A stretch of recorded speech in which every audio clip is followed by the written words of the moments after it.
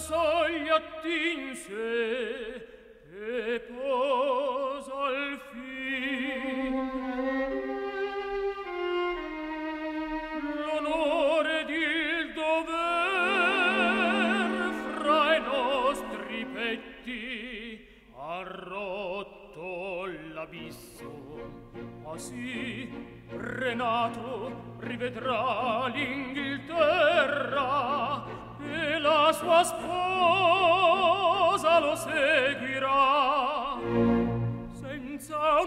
io l'immenso geonne separi e taccia il cor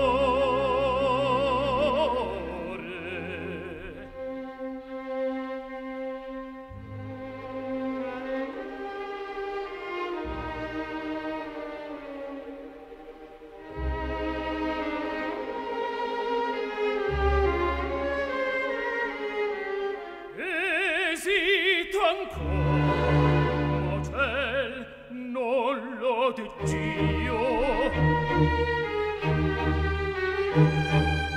a lo segnato a lo segnato il sacrificio mio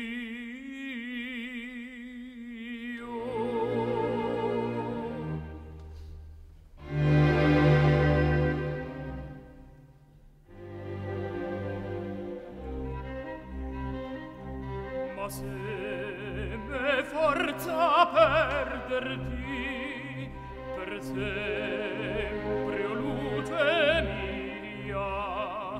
A te verrò il mio palpito sotto qual ciel tu sia.